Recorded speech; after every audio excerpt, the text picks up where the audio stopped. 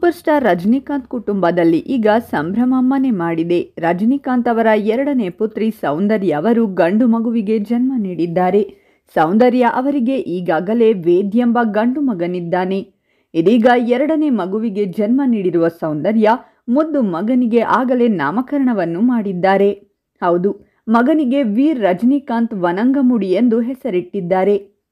ದೇವರ ಮತ್ತು ಹೆತ್ತವರ ಆಶೀರ್ವಾದದಿಂದ ವಿಶಾಗನ್, ವೇದ್ ಮತ್ತು ನಾನು ವೇದ್ನ ತಮ್ಮನನ್ನು ಸ್ವಾಗತಿಸಲು ಥ್ರಿಲ್ ಆಗಿದ್ದೇವೆ. ವೀರ್ ರಜನಿಕಾಂತ್ ವನಂಗಮುಡಿ ಎಂದು ಬರೆದುಕೊಂಡಿರುವ ಸೌಂದರ್ಯ ಅವರು ವೈದ್ಯರಿಗೆ ಧನ್ಯವಾದಗಳನ್ನು ಹೇಳಿದ್ದಾರೆ. ಎರಡು ಸಾವಿರದ ಹತ್ತು ಸೆಪ್ಟೆಂಬರ್ ಮೂರರಂದು ಸೌಂದರ್ಯ ಹಾಗೂ ಅಶ್ವಿನ್ ದಾಂಪತ್ಯ ಜೀವನಕ್ಕೆ ಅಡಿಯಿಟ್ಟಿದ್ದರು. ಏಳು ವರ್ಷ ಒಟ್ಟಿಗೆ ಇದ್ದ ಈ ಜೋಡಿ ಭಿನ್ನಾಭಿಪ್ರಾಯಗಳ ಕಾರಣದಿಂದಾಗಿ ಇಬ್ಬರು ಪರಸ್ಪರ ಒಪ್ಪಿ ವಿಚ್ಛೇದನ ಪಡೆದುಕೊಂಡಿದ್ದಾರೆ.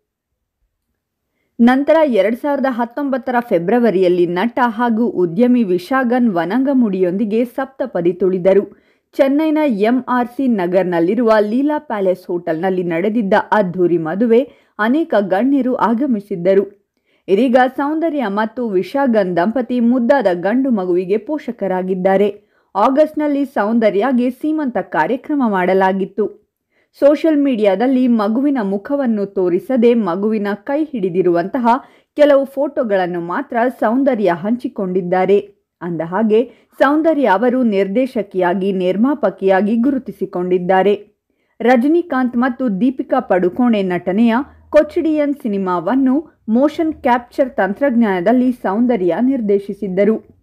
ಸೌಂದರ್ಯಗೆ ನೀವು ಕೂಡ ಶುಭಾಶಯ ತಿಳಿಸಿ ಕಾಮೆಂಟ್ ಮಾಡಿ. ಈ ವಿಡಿಯೋ ಲೈಕ್ ಮಾಡಿ ಶೇರ್ ಮಾಡಿ ಮತ್ತು ಅಪ್ಡೇಟ್ಸ್ಗಾಗಿ ನಮ್ಮ ಚಾನಲನ್ನು ಸಬ್ಸ್ಕ್ರೈಬ್ ಮಾಡಿ.